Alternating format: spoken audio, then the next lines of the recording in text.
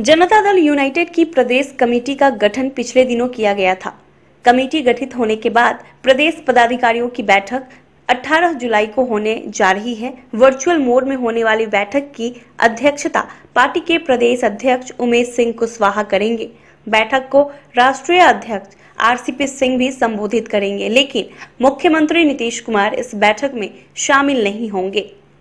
नई कमेटी के प्रदेश पदाधिकारियों की पहली बैठक 18 जुलाई की सुबह 11 बजे शुरू होगी। इसमें पार्टी के सभी प्रदेश उपाध्यक्ष, महासचिव और सचिव के साथ साथ कोषाध्यक्ष प्रदेश के प्रवक्ता और प्रकोष्ठों के प्रभारी और प्रदेश अध्यक्ष शामिल होंगे। जूम ऐप के ज़रिए इस बैठक को आयोजित किया जाएगा। अब तक यह साफ़ नहीं हो सका है कि राष्ट्रीय अध्यक्ष आरसीपी सिंह इस बैठक में पटना से जुड़ेंगे या फिर दिल्ली से। लेकिन जदयू सूत्रों से मिली जानकारी के मुताबिक इस बैठक में वह ज़रूर शामिल होंगे और इसकी आधिकारिक सूचना भी सभी पदाधिकारियों को दे दी गई है। खास बात यह है कि बिहार के मुख्यमंत्री नीतीश कुमार इस बैठक में शामिल नहीं होंगे।